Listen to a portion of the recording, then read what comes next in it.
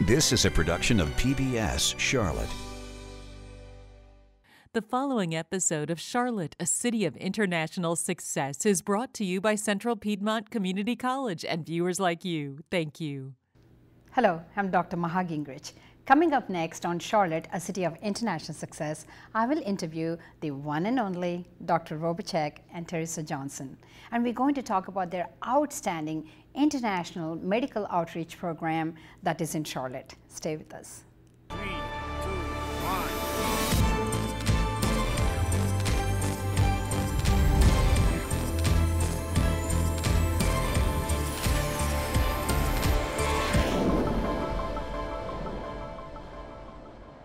Welcome to Charlotte, a city of international success. I'm Dr. Maha Gingrich.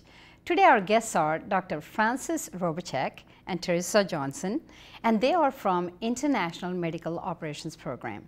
Welcome to our show. Thank you. My pleasure. Oh, it's a pleasure is all mine, believe me, because Dr. Robicsek, so many people know you.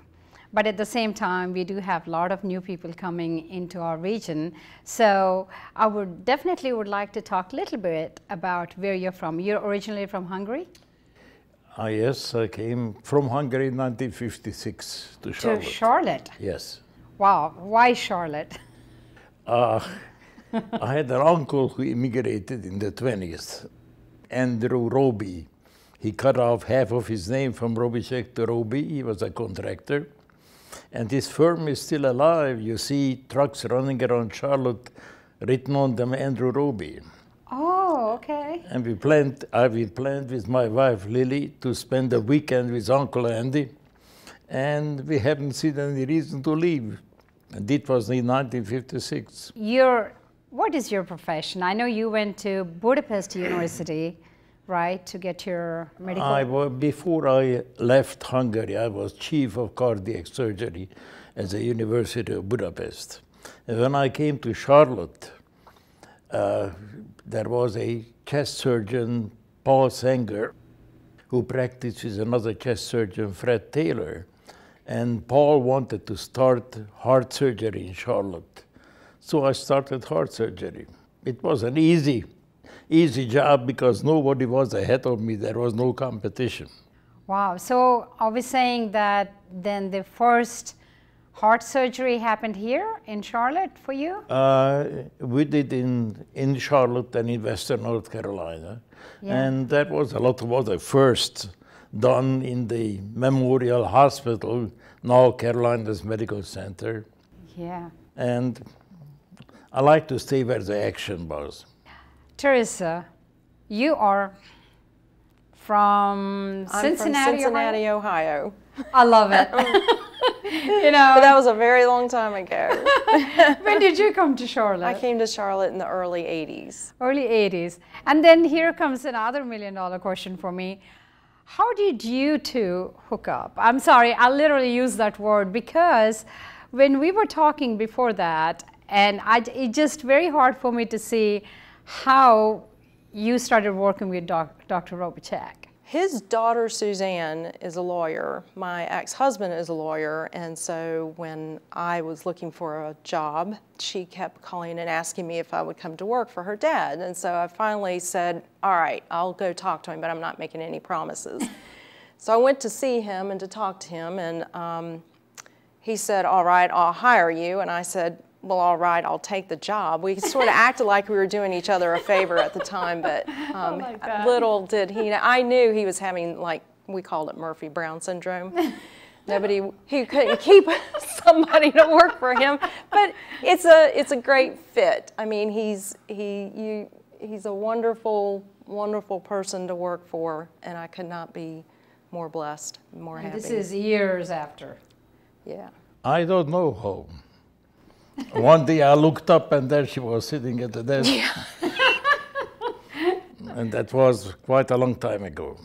Yeah, I think um, in a field like where you are, um, there is more to it, even though obviously you didn't have the background, medical background. No. Obviously, you got trained somehow to be trained where you are today. He trained you. He, Oh, I what a told him, I said, I, all I know is the head connects to the neck, the neck connects to the shoulders, the, you know, let's turn around and clap our hands, and that's all I knew about healthcare. And, you know, he said, that's fine, we'll figure it out as we go along. So he was very patient. So he saw something in you that he knew at that point that's going to be a lifelong kind of a commitment here. Uh, at that time, I was in clinical practice of thoracic and cardiovascular surgery. So at that time, we worked in the clinical field.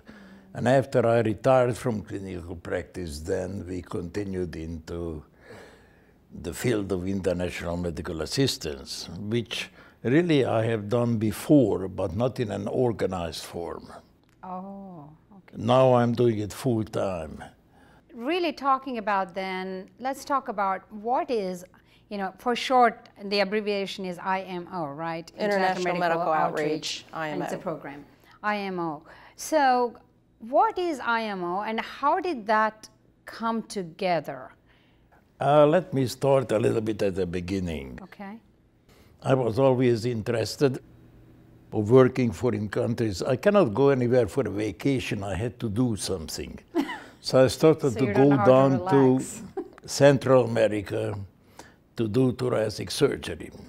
What is thoracic surgery? Uh, everything between your chin and your waist is thoracic. Heart, lung, esophagus. Oh, And thank um, you for enlightening me today. Yeah. and after a while working and doing clinical work, I realized that we can do much more good if we don't go down there and do the job and then pack up and come home Right. and don't leave anything behind. It, we can do much more if we train the locals, let them do the work, and then go back with them and help them to start off a program. So I was doing this in a little bit amateurish basis. And uh, after I retired from clinical practice, Mike Tarwater, the president of Carolinas healthcare system, Like tar water. came up with the idea that they provide us with de-accession medical equipment. And I always also work with the Heineman Foundation, which is a was and still is a small private foundation in existence in the 40s. Okay.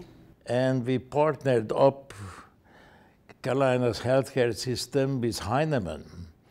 And we receive primarily the accession equipment. And Heineman refurbish it, uh, repair it if necessary, or just use it because a lot of the accession equipment is just not the latest technology. And this uh, marriage between the big healthcare system and little Heineman worked very well. So Carolina Healthcare System and Heineman Foundation came together because Mike Tarwater had the They the vision, vision. right, Right. to create this. Because you're, like you said, you're already doing this work, but you didn't really have had it in an organized form Correct. to make it happen. That way, you give itself an identity.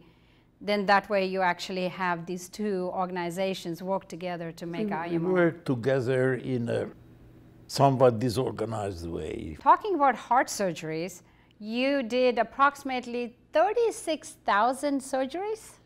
Uh, about 35. Only add the, thou- add 1,000 the thousand difference. or take off. Yeah, who's counting, you know? Not heart surgery, but major thoracic Major surgery. thoracic I would say about half of it was heart. wow, Lots of heart. that, that's, that's a lot. That's, a, lot. lot. So, in a field, when you're already a surgeon, okay, I mean, that is a very busy job. I mean, I have no question about that. How do you find time to do something like this? This had to be a passion. I'm looking at two different views. One is you, as a surgeon, finding time to actually go and do this much social work literally, and then you had no background whatsoever. You started from scratch with obviously there is a passion involved here. Tell me why you got involved in this. Because of him. yeah. No, I think, you know, I, uh, conversations I think you and I have had maybe in the past, um, you know, everything has prepared me and led me to this point in my life. Yeah. You know, I think back about, you know, all the trials, tribulations, the good, the bad, and the ugly, and everything came together yeah. finally in 2010 when I begged Dr. Robicsek to let me, you know, take over as director and let me let me lead this and see what you know what can happen and trust me to you know buckle down and do the work with him. And you know, gave myself one year and you know just worked really hard. But you know, giving back, it's it's hard work, but it's such an honor to be able to give back to people who have little or nothing. And most of these folks have nothing. So it's so easy. It's easy to it's easy to get out of the bed in the morning. So I will let you give me your perspective. What is this IMO organization? Why, you know, Dr. Robicsek specifically talked about making sure that you don't just train them and leave them. Right. And you just don't go fix it and leave. You wanted to make sure that they are sustained, so you were actually training them. Is that what it is still today? In a nutshell, it is, here's the, the small synopsis of it. It's, we offer medical equipment and supplies to developing countries as well as educational opportunities. So not only are we delivering the tools to do the job, but we're also offering to the healthcare providers um, knowledge, which is invaluable. You know, you, yeah. You, it's invaluable. So that's the second component that makes it so successful. And talking again, this is something he's been doing for years in the background. It just ramped up in the last six years. You know, you ask a question, how do I, did I have time? Yeah. You know, one thing makes me sick. If anybody said he doesn't have time, ah. you have time for everything you want to have time. And uh, let's say I was a quite busy cardiac surgeon, but it didn't stop me to make those trips. Yeah. And it didn't stop me to do a lot of other things. Anthropology was my hobby. But there are a few, few conditions, okay. you know. But at first of all, you have to have somebody who helps you with your family. And that was you, my wife, yeah. who raised four children. Wow. And I have to admit, a little bit, I neglected them, but I was always there when I needed them. Yeah. Number two, live close to the hospital. Because if you commute, that's not life. That's you are dead during this time when you commute. Right, you're wasting time. Then learn to sleep less. and if you sleep less, you live longer. And you live longer while you are still young.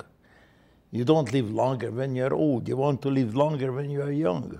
Ah. And finally, don't play golf. and that helps a lot. So if you add all of this together, you have time for everything. What there is, I told you to work with the locals, that's elementary. Yeah.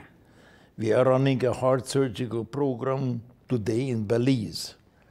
And there is a lonely heart surgeon who doesn't have any support. Wow. So we are in Belize practically every month, mm -hmm. a whole team from Charlotte, but he never done an operation. He's doing the operation. We are helping him. I am going to Guatemala for the last 40, 50 years. I never operated there, but I participated in dozens and dozens heart heart operation and chest operation. Mm -hmm. I helped the Guatemalan surgeons we trained in Charlotte. We trained about 60 Guatemalans, Hondurans, Belizeans, you name it. Wow. And Theresa maintains a guest house and they are come and go and come and go. Now it's more difficult than before mm -hmm. because of legalities. Sure sure. We So you do have, We're sending, uh, recently, just last week actually, Yeah. uh, s- a team from Levine's Children's Hospital went to Chimaltenango, Guatemala, and they were offering and provided uh, training to the providers there, the physicians and the nurses, you know, CPR, intubation, you know, I mean, they just, and so, and it's growing, it keeps growing exponentially. So, you know, I'm also now looking, we're looking at uh, physical therapists getting involved and working in a center in Belize and in Guatemala. So, you know, the training is in country, the training is in Charlotte. It's, you know, it's pivotal let to the success let me though. ask you, obviously, you saw a huge need for this. I, I want to make, make sure that we are clear on this. Um, the equipment, like Dr. Robicsek has said, that you're using is the equipment that is already shelved. So tell me a little bit about it. So the equipment is generally the equipment that comes out of Carolinas healthcare system Mm-hmm. Yeah. is equipment that no longer supports the technology that we're currently using in the United States. Because we want to be number one in medical field. Correct. We need to have most up-to-date, most technology, you know. Cutting edge Cutting everything. edge technology Right. here. We want the Okay. best of the best. And the United States proudly offers that. Absolutely. You know, yeah. we're we're fortunate to be in that position. Mm-hmm. So yes, to be clear, the equipment that comes out of the hospital generally doesn't support the new technology. Um, it's end of life for Oh. what we would consider in the United States. However, we can still get parts for that equipment. So when it is deployed into another country, if it breaks down, they can still, for the next five to 10 years, get the parts to make the repairs to the equipment. So, you know, there's still life in it. Yeah. It just doesn't meet our USDA standards. So Gotcha. we So you refurbish this and safety check it, make sure there are no kind of recalls, anything. So we have, we have so many partnerships. It's incredible. That, and how many people have jumped on board. I mean, we have engineers who help us. We have companies who, who help us, you know, not just with um, the equipment, but they also help us with the shipping. They help us with, I mean, it's, it's incredible. It takes a village. It certainly so takes it is a not village. just the foundation, it's not just IMO, no, it's just we- not the hospital No, we receive grants. We receive significant support Yep. from the Bissell Family Foundation, from the Dixon Foundation, from the Levine Foundation, and we have major projects which are supported by grants. Let me give you examples. We doubled the heart catheterization laboratories in Central America. wow. We sent on seven. The Guatemala Heart Institute had a problem. They had a surgical capacity, but they didn't have the patients. There was a gap between the patient and the Heart Institute. The patient, they were mainly native population, took them six, eight hours to get back to the capital on top of buses and so on Oh, wow. and there was no local diagnostics. So we established echocardiographic laboratories, hmm. trained the technicians. I have to say that to train the echo tech in the United States takes college and two years. Yeah. We trained the Guatemalan nurses in three months. oh, wow. And they take the pictures in the local little hospital, Yeah. transfer it with the internet to Guatemala City. Mm-hmm. The cardiologist reads there. If the cardiologist wants consultation, we have a direct line with Carolinas Medical Center, Wow. where the cardiologist uh, provide pro bono consultation. Okay. And now the system is working perfect. It you do like the video number. conferences and Once give advice Yep. Yes. to Yes. the, the, uh, technicians We and the are doctors a over finger, there. fingertip away from them. That's amazing. Oh, next week they'll have a video conference, another the monthly video conference with Guatemala, four o'clock in the afternoon. Dr. Jorge Alegria, he gets on there and they showing their images. We're showing our images. They're talking about Wow. how complex these cases are. You know, um, there's been one or two cases that they're currently, you know, writing an article. The Guatemalans are writing the article for publication in a medical journal. And the- these are things and opportunities they Wow. just never have had. But I think what I love most about this thing is all that equipment that we have and the resources that we have, you are not only utilizing them for extended life Oh, and yeah. then helping the underdeveloped, undeveloped, you know, countries to have a life there and to really, you know, bring and save lives there as well, and which is really huge. And I think from my perspective is also we are not only helping abroad, but you're also really bringing Charlotte as a global leader you know, helping other countries. I mean, you are really taking the name of our Charlotte community and the goodwill of the Charlotte citizens and the companies and organizations and foundations abroad. Let, let me tell you, if you go to Central America, everybody knows where is Charlotte. Wow. Yeah. But sometimes we hit some unexpected difficulties. Let me give you an example. Yeah. Uh, as I told you, we set up an echocardiographic network. Mm -hmm. And an echocardiographic machine, you know, it's as big as a, a refrigerator. Right. And whenever we got one there, there was a very nice reception.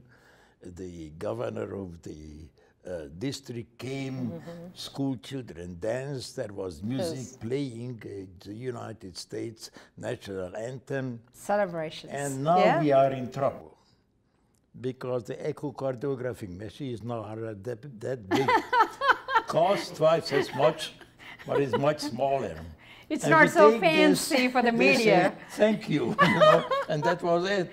because it's not so big anymore and No. it is smaller now. Exactly. And I know there are new initiative, Theresa, that you talked about, about children or natal. Can you quickly tell me about the new initiative of this organization? So the focus, the focus now is um, not this year, but pro- in the, in the future, Yeah. is um, neonatal intensive care units and pediatric intensive care units. And so we went to uh, we went to a hospital in uh, Coban, Guatemala last year, and we saw the need, and we came back and we said, you know, we've got to get to work. We this is a dire situation. There's nothing in these ICUs. They don't Wow. have infant warmers, no incubators, Wow. no uh, ventilators. It was just sad and Babies those are, up, babies are in shoeboxes. oh, basically. Painful. And mothers Painful are sitting beside a bed that's actually an exam table that you would see when you go to your primary care physician, Yeah. sitting there with the baby day and night. And it's That's just hard. so heartbreaking. So this year, after we installed the intensive care unit in Coban, there was a 50% a 50% rate reduction. 50% decrease is in infant mortality. mortality. 50% decrease in infant mortality. If you, that is if, amazing. if you extend yeah. uh, the life of a neonatal intensive care unit Yeah. for three years, it's about saving a baby for $60. $60 you can save a baby. You know, I know Mike Tarwater has started, but just with the way it has been organized, we don't have to worry about this. You know, whether you retire, he retires, no matter what the situation is, it's going to go on. I certainly hope so. It, has will. to. Certainly has hope to. so. It will. And uh, so, in one line, tell me about this is a passion. There's no question about this. Okay. What has ignited this passion? Was it the need when you went and saw during your vacations when you saw these people? You said, "Oh my gosh, I have to make a difference here and make more people live." Uh, you know, I believe that goodwill and volunteerism means a lot. But I also believe that professionalism is a leading factor. You want to board an airplane, and the pilot comes on and said, I'm going to take these 200 wonderful people back to their loving family. Get off the plane. when a pilot comes on, he said, I'm a pilot, I'm going to fly you to Chicago, and I fly you well because I'm a good pilot. Stay on the plane. So it's a combination. And you have to have the goodwill, you have to give up some other things to do that. But the main force is I'm a surgeon, I have to do surgery. I understand. I'm a doctor, I have to serve. help patients. I'm a health administrator, I have to make programs. Do your own job. I got you. And thank you so much for being on our show. And thank you for your service, Dr. Robicsek. And thank you for your passion to get into this. And I think under your leadership as well, and under your leadership and guidance, you know, we're going to make big difference in the world. Charlotte stands to save the world, you know, literally. So thank you so much for everything you're doing, and thank you for being on my show. It's a pleasure.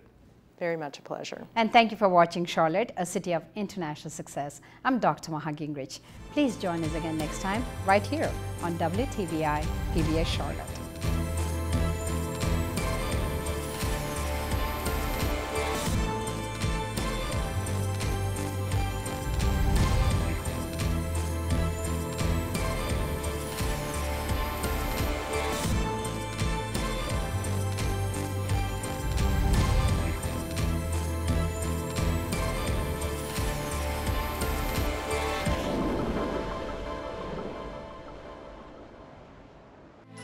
Production of PBS Charlotte.